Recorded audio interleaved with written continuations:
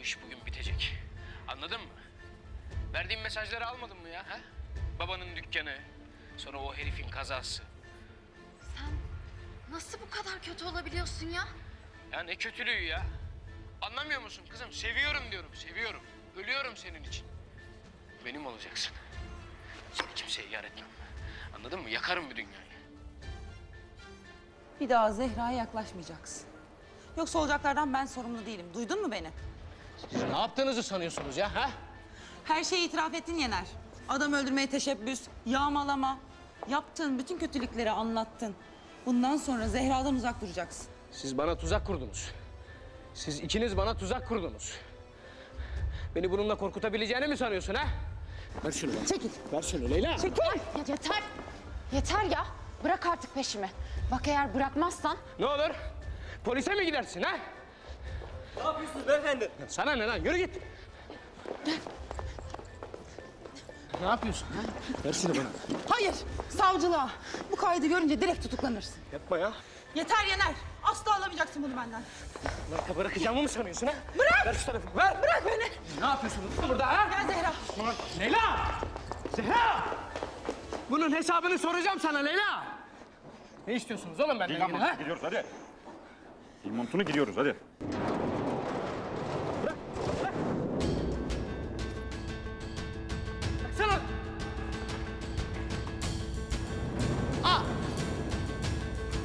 Gibi yapıştınız.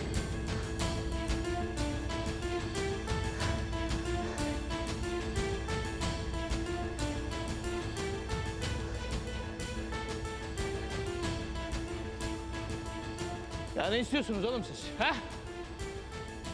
Fikret Bey'i aramayacak mısın? Biz bir ifadesini alalım da. Sonra ararız. Beyler böyle olmaz bak. Bir konuşalım önce olur mu? Konuşacağız, konuşacağız. Konuşacağız merak etme. Bak siz çok yanlış anladınız ha. Yani benim öyle bir Koray'la Moray'la bir ilişkim yok. Mahalleden tanıyorum yani.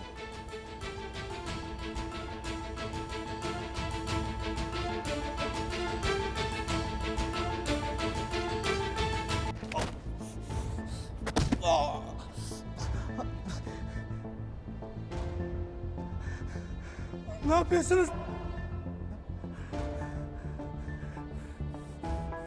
Yaptığınız delikanlılığa sığar mı oğlum siz? Dur. Dur.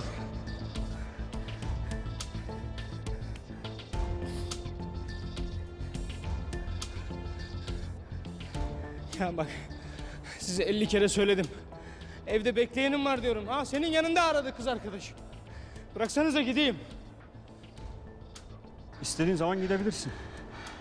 Ama önce Koray'la arandaki meseleyi anlatacaksın. Ya işte. Koray mahalleden kardeşimiz işte biliyorsunuz zaten söylemiştim size. Bir akıl danışmaya geldi, bir fikir sordu. Biz de bir kulağını çektik. Nereye? Nereye? Ha? Abi. Ne olduğunu anlatmadan buradan çıkış yok oğlum tamam mı?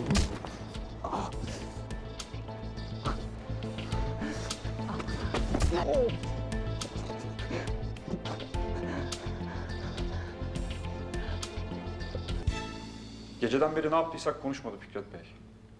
Canını da yaktık ama. Size kim söyledi adamı dövün diye? Ben size gözünü korkutun diyorum. Siz eşkıyalık yapıyorsunuz. Söylemediniz Fikret Bey. Ama söz konusu Koray Bey olunca düşündük ki Kendi kendinize düşünmeyin.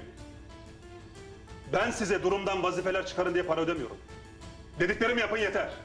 Emredersiniz Fikret Bey. Gidin bırakın adamı. Koray'a bulaşmaması için uyarın.